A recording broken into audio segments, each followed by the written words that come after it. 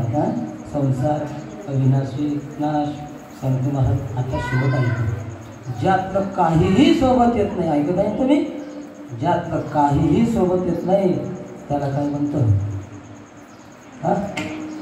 त्याला संसार म्हणतो. ज्यातलं काहीही वाया जात नाही त्याला परमार्थ म्हणतो.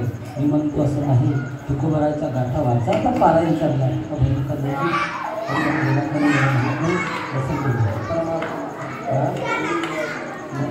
नवजेवाया करिता कीर्तन. ज्यातलं काही वाया जात नाही ते सांगायचं आहे ना मला? नवजेवाया करिता कीर्तन. ऐकिता पण वाया. नवजे ज्यातलं काहीच वाया जात नाही. त्याला परमार्थ म्हणतात ज्यातलं काहीही सोबत येत नाही त्याला संसार म्हणतात. पूर्ण अभंग पहा ना हा नवजेवाया करिता कीर्तन ऐकिता पण वाया नवजेवाया देवळाची जाता देवाची पूजिता वाया नवजे नवजेवाया संतांचा संग. यातलं काही वाया जात नाही सांगत आहे मला. नवजेवाया संतांचा संग. महत्त्वाचा काय का संतांचा संग घेऊन. तिच्या भागत नाही. शुद्ध आचरण वाया नवजे तुका मने भाव. असता नसता सायास करत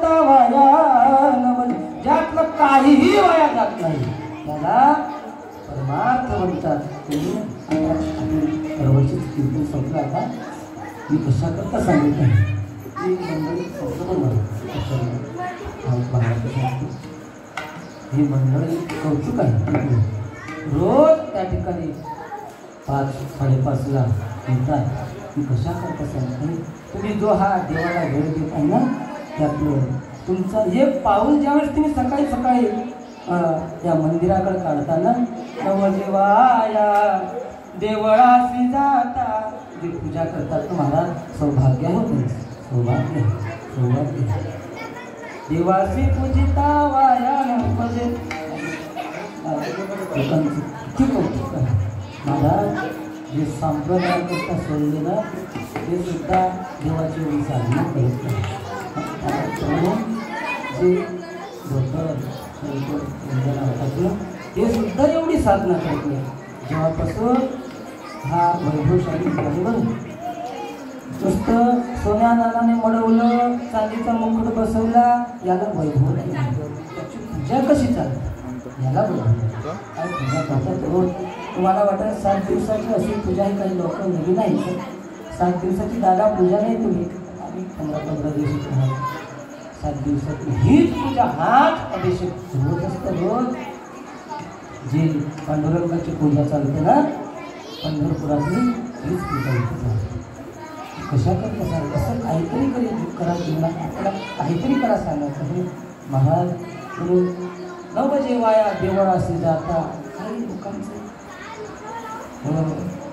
जसं त्या ठिकाणी राजा होते ते अंबरीश स्वतः अंबानी पायाने असं. मराठी स्तुती नाही करत वास्तविक झालं अंबरीश राजा होता पण मंदिरात जात असताना अहो अंबानी पायाने जायचं.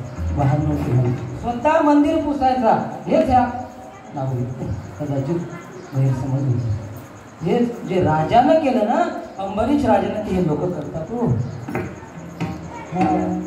सौभाग्य मला सौभाग्य मी तर इतके भाग्यवान समजते ह्या पेटरी गावातल्या लोकांना महाराज.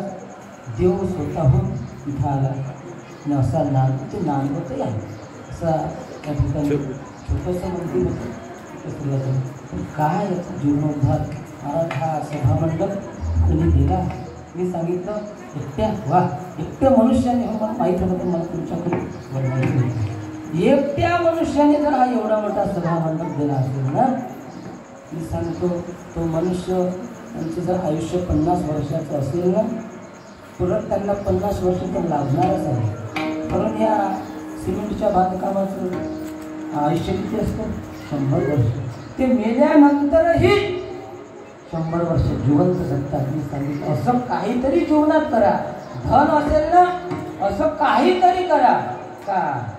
आपल्या गेल्यानंतर आठवण केली पाहिजे आठवण केली पाहिजे सत्ता असेल ना मी तुमच्या सत्ता असेल ना असं काहीतरी कार्य करा. लोक अरे पाच वर्ष लगेच निघून जातात.